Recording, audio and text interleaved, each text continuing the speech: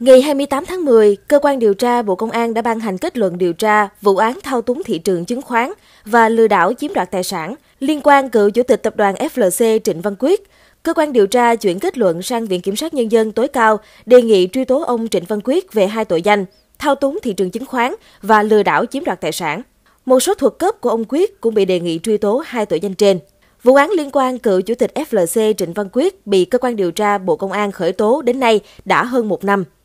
Hành vi sai phạm thao túng thị trường chứng khoán của bị can Trịnh Văn Quyết được xác định thực hiện từ đầu tháng 12 năm 2021, kéo dài đến phiên giao dịch ngày 10 tháng 1 năm 2022, phiên mà Chủ tịch FLC bán chui 74,8 triệu cổ phiếu.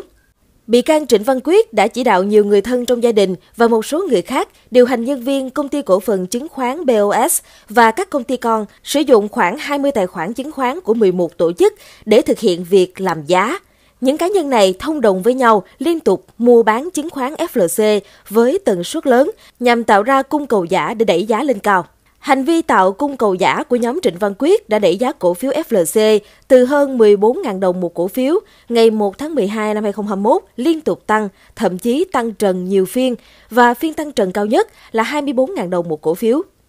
Giá cổ phiếu FLC đã được nhóm của bị can Quyết làm ảo thuật tăng hơn 64%. Sau khi giá cổ phiếu FLC được thổi lên cao ngất ngưỡng, ông Quyết đã chỉ đạo người thân bán ra 175 triệu cổ phiếu. Tổng số cổ phiếu FLC nhóm của ông Quyết bán ra đã khớp lệnh là 74,8 triệu, với giá trung bình là 22.500 đồng một cổ phiếu. Toàn bộ số cổ phiếu này đã được bán chui, không công bố trước khi thực hiện giao dịch. Tổng số tiền bị can Trịnh Văn Quyết thu về sau khi bán chui cổ phiếu là gần 1.700 tỷ đồng, mục đích hưởng lợi bất chính hơn 530 tỷ đồng. Tuy nhiên, ngay sau khi xảy ra việc bán chui cổ phiếu, Ủy ban Chứng khoán Nhà nước đã hủy giao dịch toàn bộ số cổ phiếu do ông Quyết bán ra. Những nhà đầu tư đã mua số cổ phiếu này may mắn được hoàn tiền.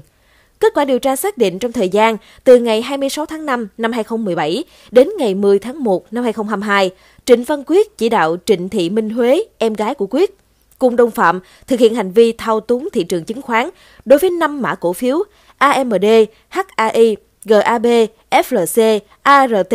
thu lợi bất chính hơn 723 tỷ đồng.